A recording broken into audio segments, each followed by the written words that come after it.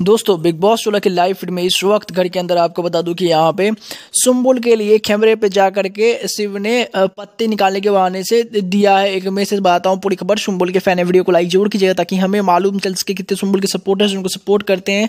ढेर सारा प्यार करते हैं। वरना लगता है दोस्तों, ज़्यादा हेटर्स वीडियो देख रहे हैं, इसलिए वीडियो को दबा आप सभी लोग ज़्यादा से ज़्यादा करके लाइक ज़रूर कीजिएगा। दोस्तों, घर के अंदर जो है, अभी यहाँ पे सुम्बुल बेसिकली कैप्टन है इस वीक में तो यहाँ पे बहुत सारी चीज़ें यहाँ पे चेंज होती हुई आज सुबह सुबह नज़र आई, जिसको लेकर मैंने ऑलरेडी एक वीडियो बना दिया, जिसपे एक सबसे बड़ा बदलाव सुम्बुल ने आज घर के अंदर किया है। वो पिछले वीडियो में है जाकर आप चेकआउट कर सकते हैं। उसके बाद दोस्तों, यहाँ पे सुम्बुल बहुत ज़्यादा इनर्जेटिक नज़र आ रही थी। जब एंथम खत्म भी हुआ तो बहुत ज़्यादा एक्साइटेड थी और जुम्बा के लिए भी बहुत ज़्यादा एक्साइटेड थी। आपको पता है कि कल ही बिग बॉस ने अनाउंस किया है कि अभी से तीन दिन तक जुम्बा टीचर आएँगे और डांस वगैरह वाला सेशन होगा, बहुत ज़्यादा इंटरेस्टिंग सीज़न होता है वो।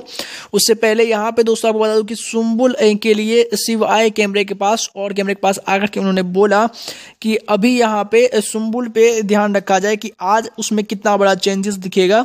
जो भी वो पहले से कर रही थी एनर्जी पहले से ही भी थी उसके अंदर डांस को लेकर के, आज क्योंकि कैप्टन है तो वो एक अलग रूप से दिख रही है। सभी का कैमरा का फोकस उस पर ही रहना चाहिए। बेसिकली वो उनको टीज कर रहे थे और वहाँ पर जाने के बाद जो है वो एक पत्ता को हटा देते हैं। जब सुम्बुल पूछते क्या करे तो वहाँ बोला कि उन्होंने पत्ता हटाया और तुम्हारे लिए कुछ बोल दिया है, जो कि बहुत ज़्यादा फनी था दोस्तों। वहीं से ये चीज़ समझ में आई कि उन्होंने ये चीज़ कैमरे पर जाकर बोली। हालाँकि उसको बहुत ज़्यादा कट करके दिखाया।